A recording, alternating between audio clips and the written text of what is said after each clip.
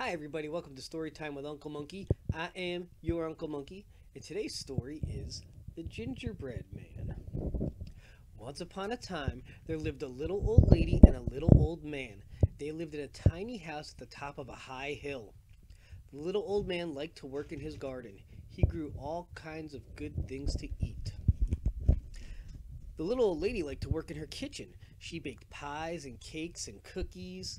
One morning, the little lady decided to bake something something special. Whatever shall it be? she said softly to herself. She thought and thought. Then she smiled.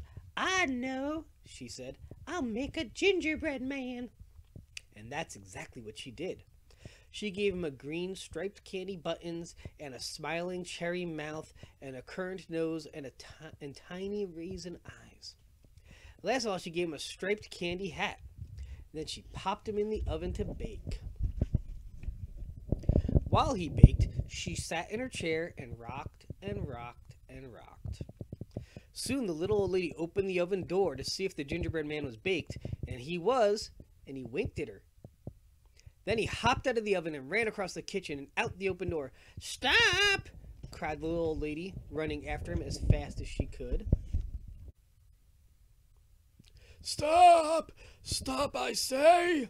cried the little old man as the gingerbread man ran through the garden. But the runaway gingerbread man just laughed. run, run as fast as you can. You can't catch me. I'm the gingerbread man. And then he ran through the garden gate and off down the hill.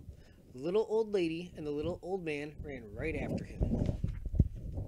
The gingerbread man ran past a boy and his sister. They were working in their father's fine watermelon patch.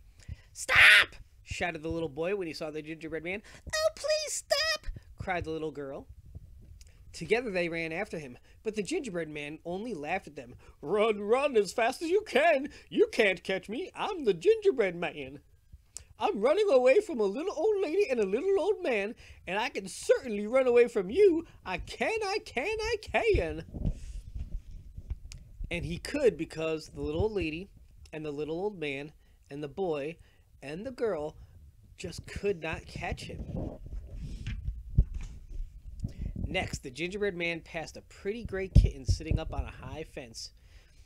Meow, stop right meow, meowed the small gray kitten. The gingerbread man laughed and laughed. Run, run as fast as you can. You can't catch me. I'm the gingerbread man. I've outrun a little old lady and a little old man, a boy and a girl, too.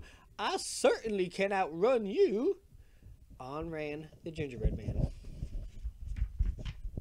On ran the little old lady and the little old man and the boy and the girl and the pretty gray kitten. Soon the gingerbread man passed a brown and white cow in a pleasant sunny meadow. Stop! Moo! mooed the cow. The gingerbread man laughed at the cow. Run, run as fast as you can. You will not catch me. I'm the gingerbread man. I'm running away from a little old lady and a little old man, and a boy and a girl and a kitten, too. Why should I stop for you? Of course, he did not stop. He ran on and on and on. And so did the little old lady, the little old man, and the little boy, the little girl, the gray kitten, and the brown and white cow. But they were all getting very, very tired. Suddenly, though, the gingerbread man had to stop. He had come to a river, and there was no way for him to cross it. Just then, a red fox peeked out from behind a blackberry bush. Hop onto my back, gingerbread man, he said, smiling and showing two rows of sharp, shiny teeth. I will carry you across the river. The gingerbread man saw those teeth, so he did not hop onto the fox's back. Instead, he climbed onto the very tip of the fox's bushy tail, and they started to cross the river. The river rose higher and higher. It nearly covered the fox's bushy tail. Hop onto my back, gingerbread man, called the fox, or you will surely get wet. The gingerbread man hopped onto the fox's back. The water rose higher until soon it nearly covered the fox's back.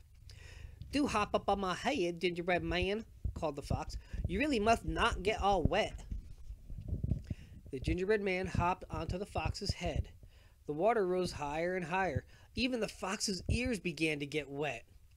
Hop onto my nose, gingerbread man, called the sly fox, because I would feel ever so bad if you got wet. The gingerbread man hopped, but he never landed on the fox's nose because suddenly, snip, swallow! The smart fox ate half of the gingerbread man. Snap, swallow! He ate the other half too. And that was the end of the gingerbread man. But then nobody felt bad about that.